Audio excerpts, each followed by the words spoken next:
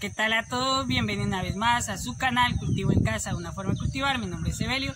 El día de hoy les quiero compartir la segunda parte del video. Ustedes recordarán que yo compartí la primera parte de cómo germinar chayote. Entonces, a petición de una suscriptora me dijo que yo le diera continuación a este video. Es por el cual les voy a explicar dónde sembré el chayote que germiné. Si ustedes lo principal que tienen que realizar es para la siembra, si no tienen espacio, pueden realizar su siembra en una caja, ya sea una caja de fruta, el cual pues tiene espacio suficiente, como lo que puede ver aquí.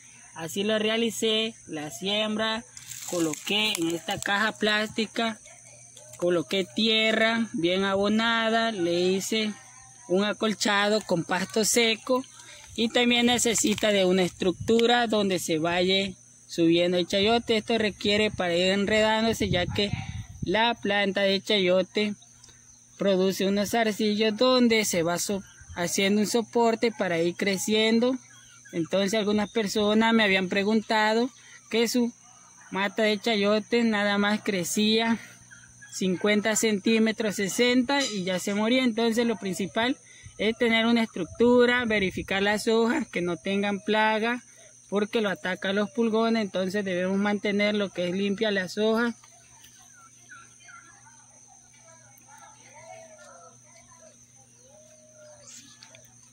Y de ahí pues necesitamos, aquí le vamos a compartir dónde está la estructura ya, aquí puede observar que es una caja plástica, la cual les estoy mostrando para que puedan observar bien que de ahí fue donde se sembró el chayote y ya de ahí va su crecimiento.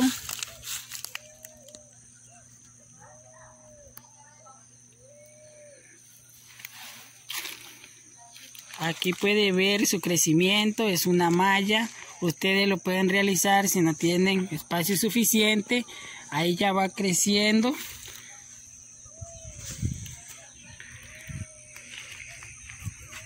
y aquí va a seguir creciendo más hasta cuando empiece a dar su floración.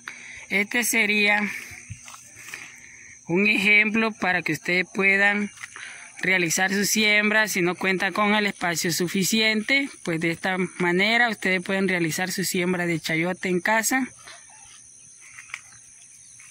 Siempre deben tener en cuenta mantener completamente húmeda la tierra para, para un mejor desarrollo de su siembra de chayote. Pues así le tiene que quedar de esta manera, pues le dimos continuación al video, le envío un cordial saludo a todos, cuídense mucho, hasta un próximo video, no olviden compartir y darle like.